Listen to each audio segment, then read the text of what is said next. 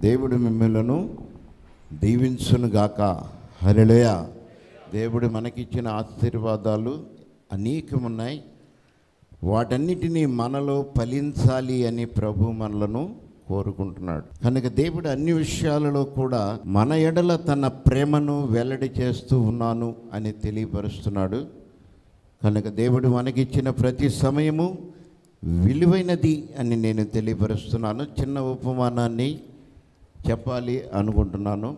కనుక దేవుడు మరి మన ఎడల తన ప్రేమను వెల్లడి చేస్తున్నాడు కనుక అన్ని విషయాల్లో సంతోషంగా ఉండండి.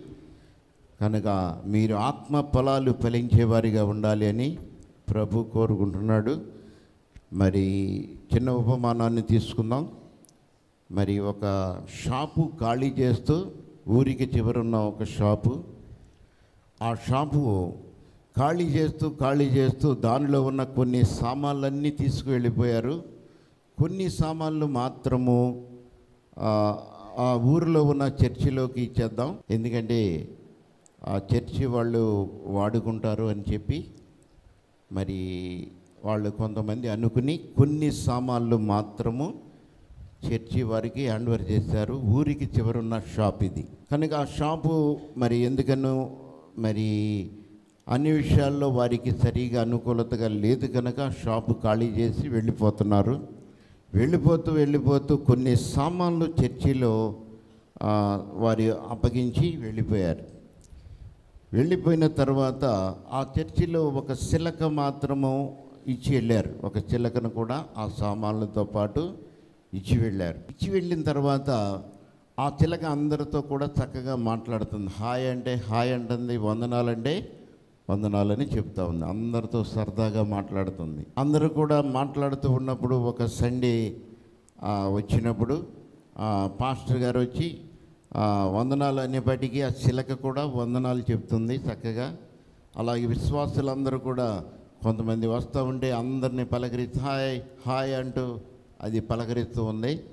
పలకరిస్తూ ఉండగా మరి కొంతమంది దానికి తెలిసిన వాళ్ళు వచ్చినప్పుడు ఏంటి మీరు కూడా ఇక్కడికి వచ్చారా అంటున్నారు ఆ చిలక మీరు కూడా ఇక్కడికి వచ్చారా అంటే ఈ శిలకను ఎవరు తీసుకొచ్చారా బాబు ఇక్కడికి అనుకుంటున్నారు వాళ్ళు. ఎందుకంటే చర్చిలో ఉన్న పెద్దలు వాళ్ళు.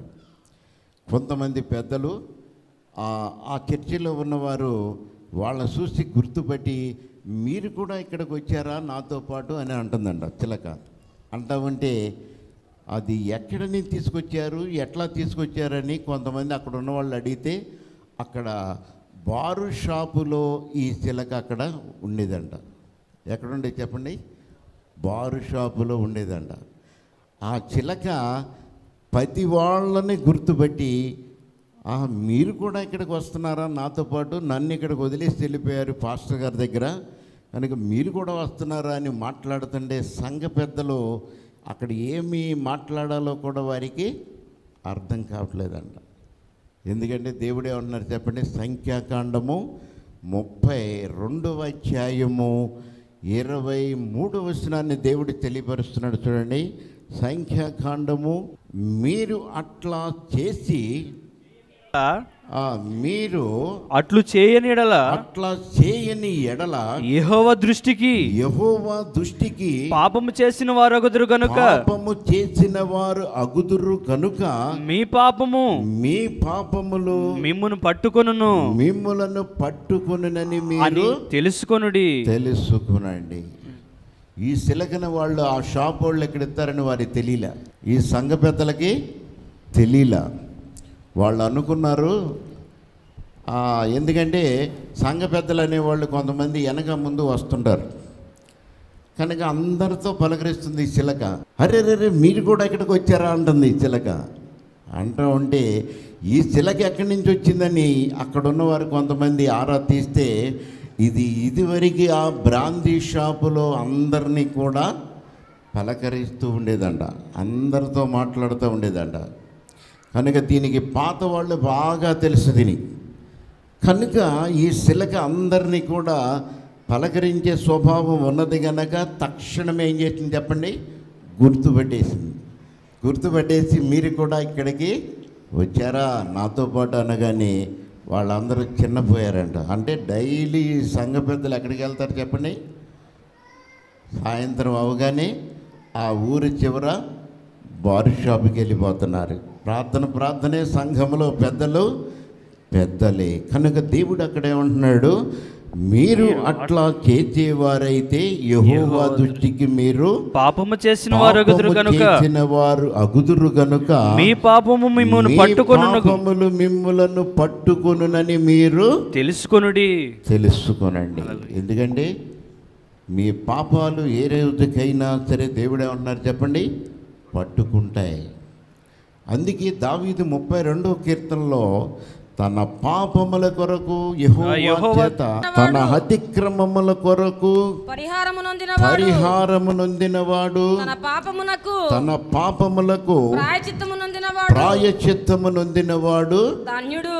ధన్యుడు. యెహోవా చేత యెహోవా చేత నిర్దోషి అని ఎంచబడిన వాడు ఆత్మలో కపటము లేనివాడు ఎంతో ధన్యుడు. ధన్యుడు అంటున్నాడు. దేవుడు ఏమంటున్నారు చెప్పండి అక్కడ? యహోవా చేత మీరు నిర్దోషి అని ఎంచబడినవాడు నిర్దోషి అని ఎంచబడిన వాడు ఆత్మలో కపటము లేనివాడు ఎంతో? ధన్యుడు. ధన్యుడు. కనుక దేవుని సన్నిధిలో మనం దేవుని ఆలయానికి వెళ్ళేటప్పుడు ఈ సంఘ పెద్దలు సాయంత్రం ఎక్కడ ఉంటున్నారు చెప్పండి? ఆ ఊరి చివర ఉంటున్నారు. కనుక ఆ చిలక మాత్రం రాకపోతే వీళ్ళ గురించి మాట్లాడేది లేదు. కనుక చిలక మాత్రం ఎందుకు వచ్చిందిరా బాబు? దీన్ని ఎవరు తీసుకొచ్చారా బాబు? అనిగిని వాళ్ళంతా ఎంతో బాధపడిపోతున్నారు. కనుక దేవుడు అన్నాడు ఏదో ఒక విధంగా నీ పెద్దరికం నీ ఆలోచన నీ పాపాలు నిన్ను పట్టుకోక మునిపే నువ్వేం చేయాలి చెప్పండి? దేవుని సన్నిధిలో నీ పాపములకు ప్రాయశ్చిత్తమునందుట ఎంతో ధన్యుడు. దేవునికి స్తోత్రము. అలా కనుక చూడండి రెండవ దశలోనిక రెండవ దశలోనిక మూడవ అధ్యాయము మూడవ వచనాన్ని చదవండి. రెండవ దశలోనిక అయితే ప్రభు నమ్మదగిన వాడు అయితే ప్రభు నమ్మదగిన వాడు ఆయన మిమ్మల్ని స్థిరపరిచి ఆయన మిమ్ములను స్థిరపరిచి దుష్టత్వము నుండి దుష్టత్వము నుండి కాపాడును. కాపాడును. మేము మీకు ఆజ్ఞాపించిన మేము వాటిని మీకు ఆజ్ఞాపించిన వాటిని మీరు చేయిస్తున్నారనియు. ఇక చేయుదురని ఇక చేయుదురనియు. ప్రభునందు ప్రభునందు మిమ్మలను గురించి నమ్మకము కలిగి నేను ఉన్నాము. ఉన్నాను అంటున్నాడు. అయితే ప్రభు నమ్మదగిన వాడు గనక ఆయన మిమ్ములను స్థిరపరిచి సమస్తమైన దుష్టత్వములో నుండి మిమ్ములను కాపాడును. కాపాడుతాడంట. దేవుడు నమ్మదగిన వాడు మనలను కాపాడే దేవుడు నమ్మదగిన దేవుడు. కనుక దేవుడు అంటున్నాడు మిమ్ములను నమ్మకమైన దేవునికి మిమ్ములను మీరు అప్పగించుకుంటే నమ్మకమైన దేవుని దగ్గర మీ దోషములకు మీరు పరిహారమునందితే ఆయన మిమ్మలను స్థిరపరిచి దుష్టత్వములో నుండి మిమ్మలను కాపాడడానికి ఆయన సిద్ధముగా ఉన్నాను అంటున్నాడు.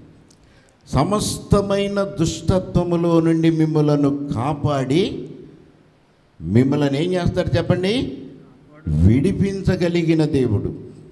కనుక మేము మీకు ఆజ్ఞాపించిన వాటిని మీరు చేయిస్తున్నారు కనుక ఇక చేయుదురని. ప్రభునందు మిమ్మలను గురించి నమ్మకము కలిగి నేను ఉన్నాను. కనుక మీరు దేవుడు ఏవైతే మీకు ఆజ్ఞాపించి ఉన్నాడో కనుక వాటిని మీరు చేయుదురని ఇక ప్రభునందు నమ్మకముగా నమ్మకముగా మిమ్ములను గురించి నేను ఏమన్నా చెప్పండి? నమ్మకము కలిగి జీవిస్తున్నాను. నా దేవుణ్ణి మీకు ప్రకటిస్తున్నాను నమ్మకము కలిగిన దేవుడు. కనుక అయితే ప్రభునందు అయితే ప్రభు నమ్మదగిన వాడు ఆయన మిమ్ములను స్థిరపరిచి దుష్టత్వములో నుండి కాపాడటానికి ఆయన సముద్రుడుగా ఉన్నాడు అని దేవుడు తెలియపరుస్తున్నాడు. రెండో తిమోతి చూడండి. రెండో తిమోతి రెండవ అధ్యాయము చూడండి పదకొండవ నుంచి చదవండి. ఈ మాట ఈ నమ్మదగినది మాట నమ్మదగినది కనుక మనము ఆయనతో కూడా చనిపోయిన వారమైతే ఆయనతో కూడా ఆయనతో బ్రతుకుదుము. కూడా బ్రతుకుదుము. బ్రతుకుదుము. సహించిన వారమైతే సహించిన వారమైతే ఆయనతో కూడా ఆయనతో కూడా ఏలుదుము. ఏలుదుము. ఆయన ఎరగమంటే ఆయనను ఎరగమంటే మనలను ఆయన ఎరగను అను మనము ఆయనను ఎరగను అను ఎరగను అనును. మనము వారమైన మనము నమ్మదగని వారమైనప్పుడు ఆయన నమ్మదగిన నమ్మదగిన. వాణిగా ఉన్నాడంట. మన దేవుడు మన ఎడల నమ్మకము కలిగి ఉంటే మనము మాత్రము ఆయన దగ్గర ఎలా ఉన్నాం చెప్పండి? దేవుడే నమ్మలేని స్థితిలో మనం ఉన్నాము అంట. కనుక దేవుడు అంటున్నాడు మీరు నమ్మదగిన వారిగా లేకపోయినా నేను మాత్రం మీ ఎడల నమ్మదగిన వాడుగా నమ్మకము కలిగిన వ్యక్తిగా ఉన్నాను. కనుక మిమ్ములను కాపాడుట కొరకు నేను ఈ లోకానికి వచ్చి ఉన్నాను. కనుక ఈ మాట మీరు నమ్మద ఈ మాట నమ్మదగినది ఏలయనగా మనము ఆయనతో కూడా చనిపోయిన వారమైతే ఆయనతో కూడా ఆయనతో కూడా మనము కూడా బ్రతుకుదుము. బ్రతుకుతాం. కనుక దేవుడు మన కోసం చనిపోయాడు. మన పాపముల కొరకు ఆయన చనిపోయాడు. అంతేకాని ఆయన ఈ లోకములో ఏ నేరము చేసి చనిపోలేదు. మన పాపముల కొరకు తన్ను తాను. ఎందుకంటే నా బిడ్డలు రక్షించబడాలి అంటే ఆ భయంకరమైన ఆ పాపాలలో నుంచి వారికి విడుదల కలగాలి అంటే నా బిడ్డలు చేసిన ఆ పాపానికి నేను ఏమవ్వాలి చెప్పండి? చనిపోవాలి. కనుక నేను చనిపోయి వారిని నేను బ్రతికిస్తాను.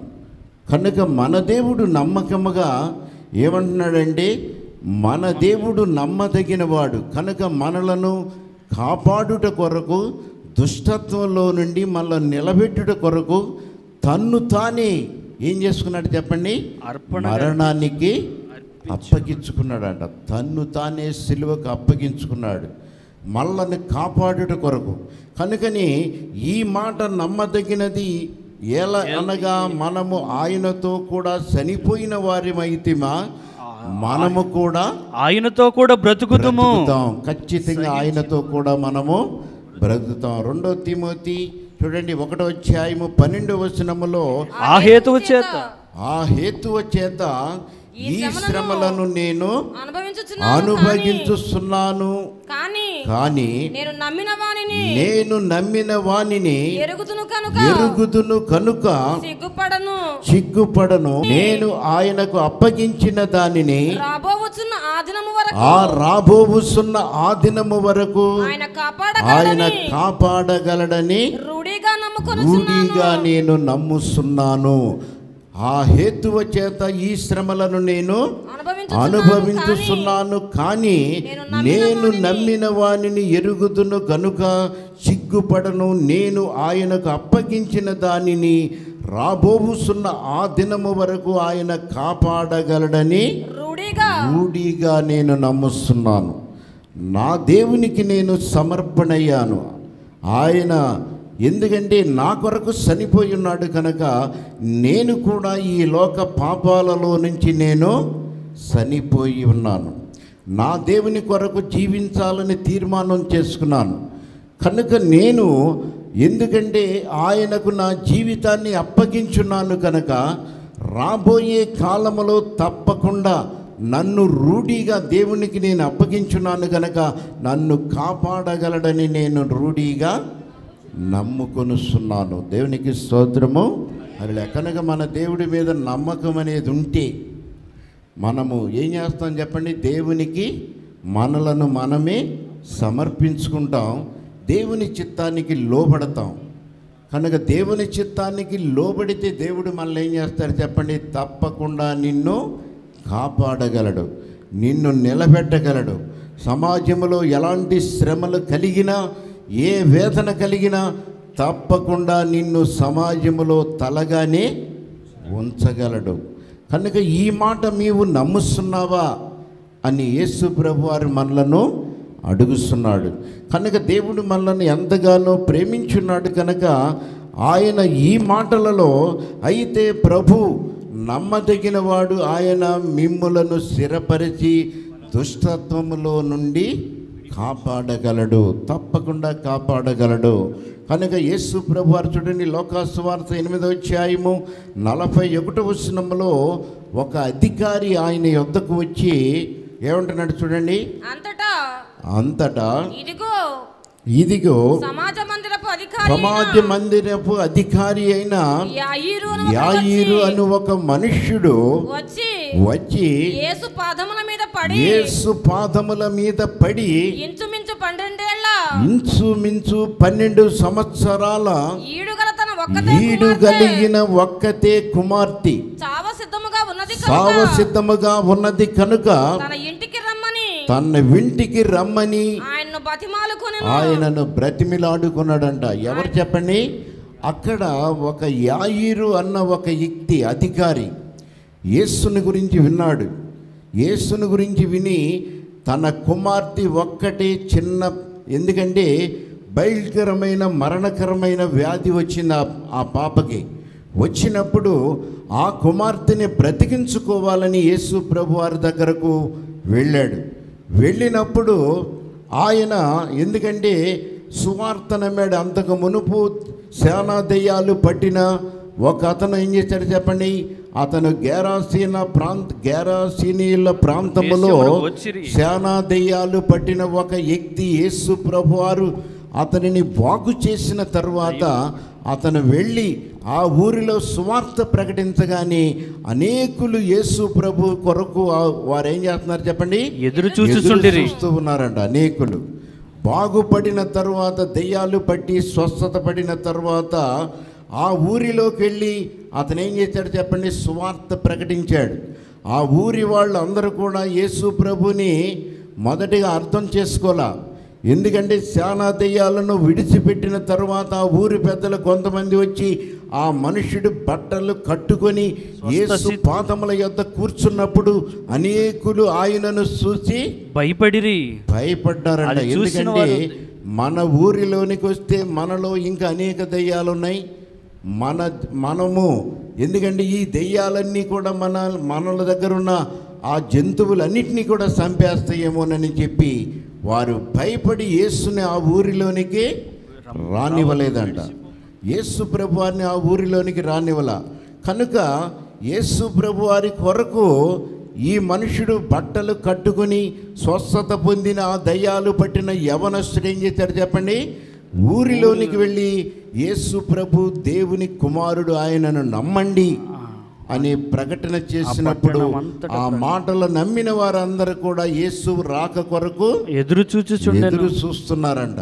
చూస్తున్నప్పుడు అక్కడ సమాజ మందిరం యొక్క అధికారి కుమార్తె కూడా సావసిద్ధముగా ఉన్నది అక్కడ. సమాజ మందిరములో ఎందుకంటే గొప్ప అధికారములో ఉన్న ఒక సమాజ మందిరపు అధికారి యేసుని గురించి విని తన కుమార్తెను బ్రతికించుకోవటానికి ఏం చేస్తాడు చెప్పండి? యేసు దగ్గరకు వెళ్ళాడు. యేసు ప్రభు దగ్గరికి వెళ్ళి ఆయన పాదాల మీద పడి ప్రభువా నా కుమార్తె ఒక్కతే సావ సిద్ధముగా ఉన్నది కనుక మీరు వచ్చి నా కుమార్తెను బ్రతికించమని ప్రాధేయపడ్డాడంట. ఆ మాటలు విన్న యేసు ప్రభు వారు బయలుదేరి ఆయన ఇంటికి వెళుతూ ఉండగా అక్కడ ఏం జరిగింది చెప్పండి? ఒక వెళుతూ ఉండగా అక్కడ పన్నెండు ఎన్ని సంవత్సరాలు చెప్పండి?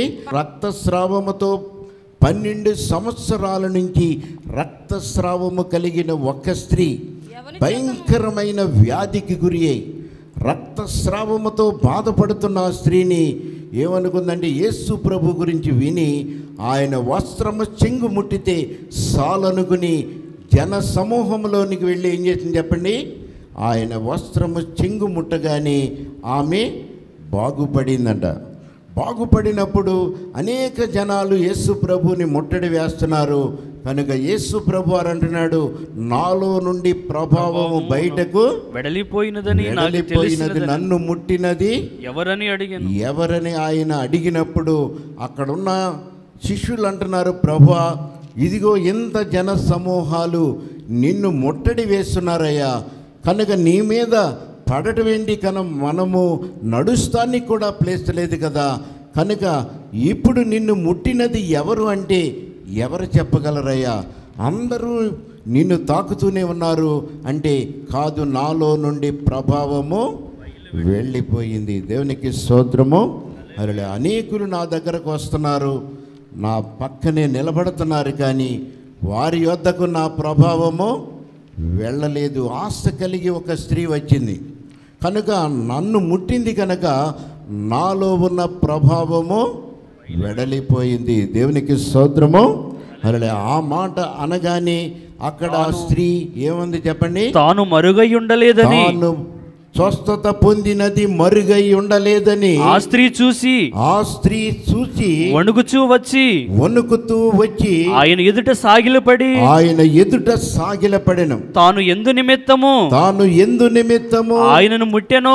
ఆయనను ముట్టెను. వెంటనే తాను ఎలాగూ స్వస్థపడెను? వెంటనే ఎలా స్వస్థత పడెను ఆ సంగతి ప్రజల ఎదుట ఆ సంగతి ప్రజలందరి ఎదుట తెలియజెప్పాను. తెలియ చెప్పుస్తున్నదంట అక్కడ ఏం చేస్తున్నప్పుడు యేసు ప్రభువారు నన్ను ముట్టినది ఎవరు అనగానే ఆ సంగతి మరుగై ఉండలేదని ఆ స్త్రీ ఏం చెప్పింది? ఆ స్త్రీ భయపడి యేసు దగ్గరకు వచ్చి ఆ విషయాన్ని అంతా కూడా తెలియచేసిందంట. తెలియచేసినప్పుడు సమాజ మందిరపు అధికారి ఇంటికి యేసు ప్రభు వారు వెళుతూనే ఉన్నారు.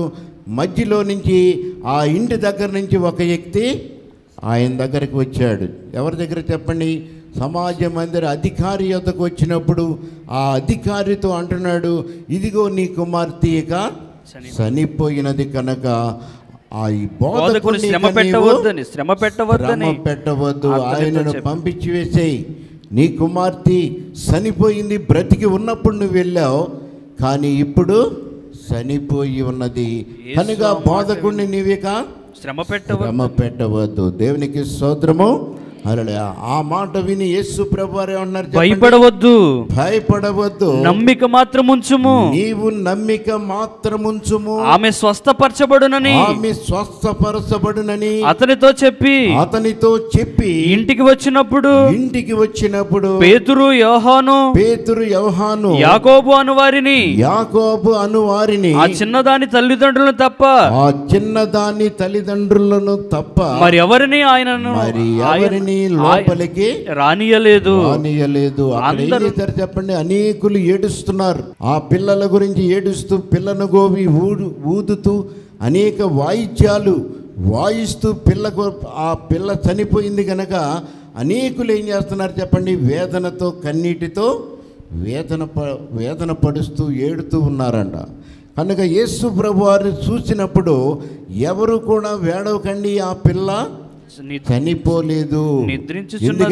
నిద్రించుస్తున్నది కానీ ఆ పాప చనిపోలేదని చనిపోలేదని చెప్పినప్పుడు అందరూ కూడా ఆయనను అపహసించిరి. అపహాస్యము చేశారంట. కనుక మేము కనులారా చూసాం ఆమె చనిపోయింది నీవు బ్రతికుందంటావేంటని చెప్పి నిద్రిస్తుందంటావేంటని చెప్పి అందరూ ఆయనను ఎగతాళి చేశారు. కానీ యాయిరుతో అంటున్నాడు యేసు ప్రభు వారు నీవు నమ్మిక మాత్రము ఉంచుము. ఉంచుము ఆమె స్వస్థపరచబడును. బ్రతికే ఉన్నది అని చెప్పినప్పుడు ఆ మాటను బట్టి ఆయన నమ్మి ఉన్నాడు. కనుక లోపలికి వెళ్ళినప్పుడు యేసు ప్రభువారు ప్రార్థన అయితే చేసి ఆ పాపను బతికించి తల్లిదండ్రులకు అప్పగించిన తర్వాత వాళ్ళందరూ ఏం చేశారు చెప్పండి అక్కడ ఉన్నవారు. ఎగతాళి చేసిన వారు అందరూ కూడా విస్మయము విస్మయం పొందారండి అందరూ కూడా యేసు ప్రభు జీవము కలిగిన దేవుడు. దేవునికి. ఆయన కనుక ఆయన ఎలాంటి వాడు చెప్పండి ఆయన స్థిరపరిచి దుష్టత్వములో నుండి కూడా వారిని. కాపాడగలిగిన వాడు కనుక అయితే ప్రభు నమ్మదగిన వాడని అందరూ కూడా అక్కడ ఉన్న వారందరూ కూడా నమ్మారు. కనుక ఆయన స్థిరపరిచే దేవుడు రక్షించే దేవుడని అందరూ కూడా అక్కడ ఉన్న వారందరూ కూడా విశ్వసించారంట. దేవునికి స్తోత్రము. అలా కనుక మన దేవుడు ఎలాంటి దేవుడు చెప్పండి? కీర్తన గ్రంథము ముప్పై ఏడవ అధ్యాయం ఐదు వచనంలో దేవుడు అక్కడే ఉన్నారు చెప్పండి. చూడండి కీర్తన గ్రంథము ముప్పై ఏడవ అధ్యాయం ఐదు వచనం. నీ మార్గమును ఆ నీ మార్గము యెహోవాకు అప్పగింపము. యెహోవాకు అప్పగింపుము. నీవు ఆయనను నమ్ముకొనుము. నీవు ఆయనను నమ్ముకొనుము. ఆయన నీ కార్యములను ఆయన నీ కార్యములను నెరవేర్చును. నెరవేరుస్తును. దేవునికి స్తోత్రము. హరళే కనుక ఆయనను నీవు నమ్ముకొనుము. నమ్ముకొనుము. ఆయన నీ కార్యములను నెరవేర్చును. నెరవేరుస్తాడు. తప్పకుండా ఆయనకు నీవు అప్పగిస్తే ఆయనను నమ్మితే దేవుడు ఏమంటున్నారు చెప్పండి? నీ కార్యములను ఆయన నెరవేర్చే దేవుడు. తప్పకుండా నీకు సహాయం చేసే దేవుడు. కీర్తన గ్రంథం చూడండి నలభై ఐదో అధ్యాయము రెండవ వచనములో దేవుడు నరులందరికంటే ఆ, నీవు అతి సుందరుడివై ఉన్నావు. ఏమంటున్నారు చెప్పండి? నరులందరికంటే నరుల అందరికన్నా నీవు అతి సుందరుడివై ఉన్నావు. సుందరుడవై ఉన్నావు. నీ పెదవుల మీద నీ పెదవుల మీద దయారసము పోయబడి ఉన్నది. పోయబడి ఉన్నది. ఉన్నది. నరులందరికన్నా కూడా ఆయన సుందరుడై. ఆయన పెదవుల మీద ఏముంది చెప్పండి? దయారసము దయారసం ఉన్నది అంట. ప్రభు మాటలలో శక్తి ఉన్నది. కనుక నీవు నమ్ముకున్న దేవుడు నమ్మదగిన దేవుడై ఉన్నాడు కనుక నీ కార్యములను ఆయన ఏం చేస్తాడు చెప్పండి? నెరవేర్చే దేవుడు. నీకు సహాయం చేసే దేవుడు.